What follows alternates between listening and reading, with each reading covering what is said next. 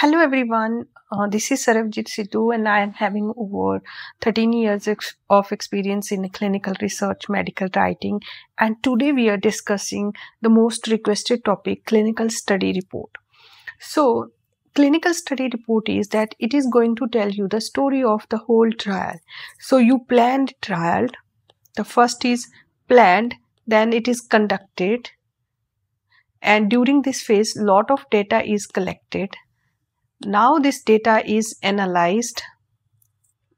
And once it is analyzed you are ready to write the csr so in short this clinical study report it is going to tell you what all happened in one single trial. So this is going to be very complex document. Now let's understand what it is.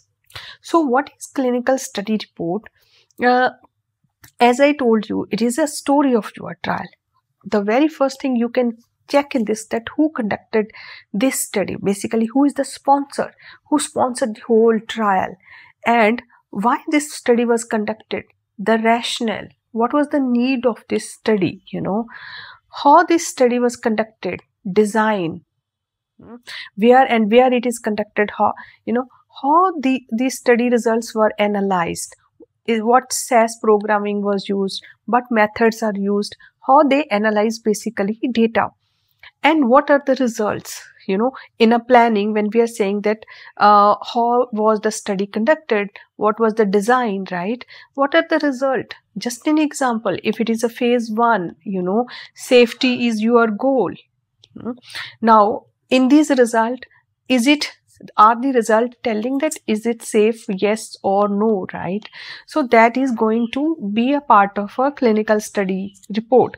And finally conclusion. Like now are they going to say that if it is a phase one study that mm, based on phase one this uh, this test drug is safe? Or they are going to further say that maybe additional data maybe additional uh, studies are required to be planned to be more conclusive. So that is CSR. Little more on this, it is going to be a very complex document. It's not that straightforward because whatever we have done in the trial, whatever we have done from the day one, suppose your trial was for two years, right? So now in this, all all the things that you have done in two years you have to present in the csr so definitely it is going to be a very very complex so that means phase one can be like you know it can vary from like a small csr like 200 page 300 page or even for the observational study it can be 100 150 pages only but it can be as complex more than 30000 pages you know for the bigger trial. Even i don't want to scare you but even for the studies uh, they have multiple sub studies in one study for the sub studies they can have two three csrs as well Hmm. So sometimes abbreviated CSR is also required to be made. But in nutshell, it can be small, it can be big, and but it is a complex document. If you are a medical writer, if you ever got a chance in a working in a CSR writing, it's going to be the best experience.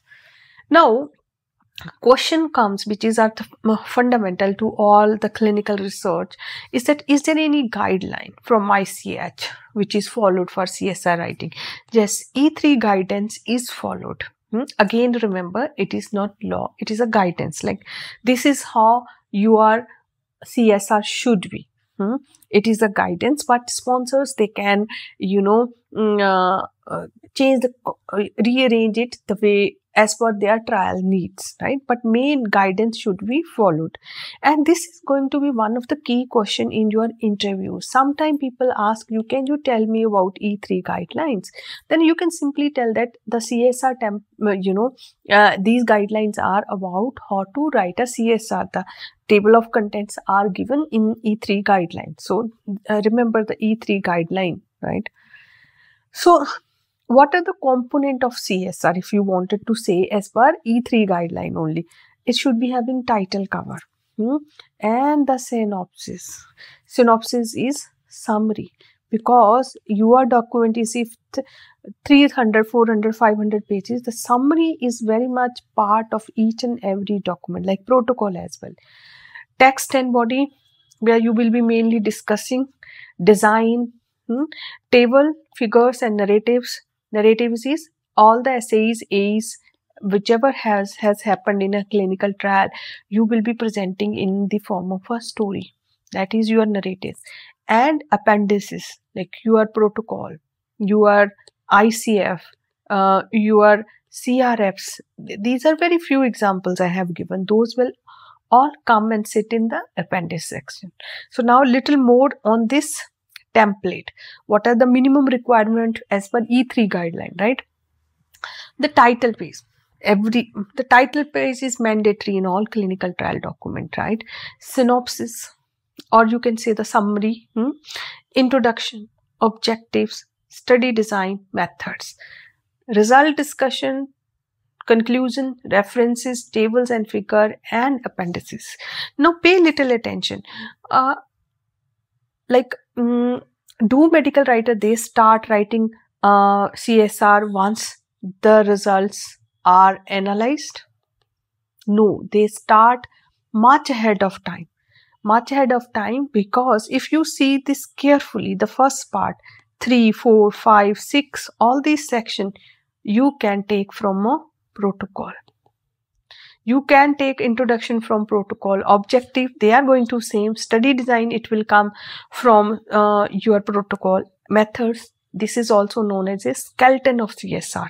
The skeleton of CSR writers start preparing ahead of time even when the results are not analyzed. Why?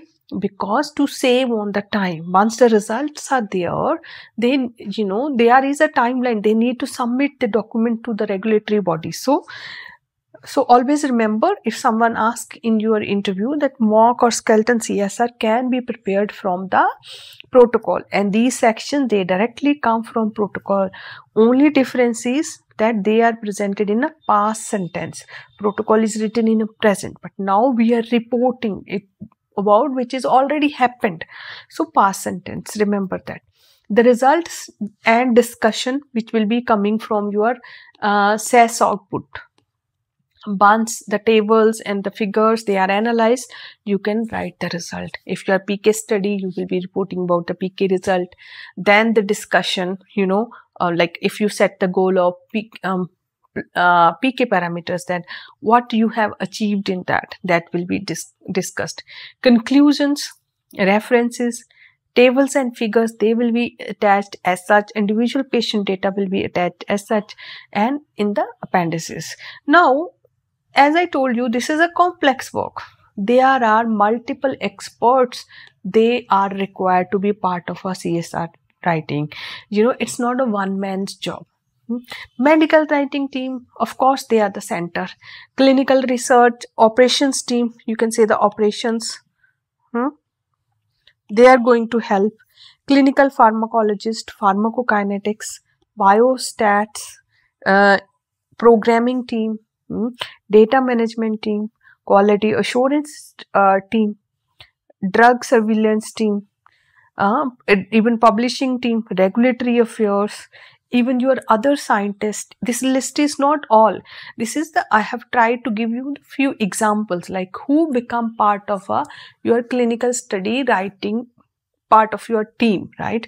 So in nutshell if i wanted to say you the csr is it is going to tell you the story of of clinical trial. Hmm? it is presenting what happened from day one to last day. So when you are submitting your csr to regulatory body you are going to tell them that this is all happened in this trial. And whatever the result achieved in your clinical trial that you present in CSR. CSR the one of the most important document when it comes, right? So I hope this uh, video is quite helpful. I can make other ones as well on this because this is long topic. So thank you so much.